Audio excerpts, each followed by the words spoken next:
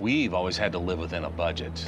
But the politicians haven't, and they've got us in quite a mess. I've been reading about a way for us voters to clean things up by passing a spending limit they can't change.